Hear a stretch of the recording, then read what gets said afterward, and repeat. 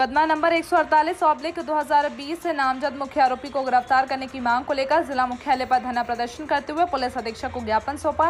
मुख्य दो आरोपी को गिरफ़्तार न कर अन्य शामिल लोगों को गिरफ़्तार करने के मामले को लेकर ग्रामीण और परिजनों को पुलिस ने के खिलाफ गुस्सा फूटा। पुलिस मुर्दाबाद के नारे लगाए। पुलिस अधीक्षक ने जल्द ही गिरफ़्तार करने का दावा किया है। पाली के निकट सोनाई माझी गाँव में पारिवारिक रंजिश में युवक की हुई थी हत्या। लेटेस्ट न्यूज़ देखने के लिए प्राइम ब्रेकिंग न्यूज़ चैनल को सब्सक्राइब करना ना भूलें और साथ ही डेली अपडेट्स पाने के लिए बेल आइकन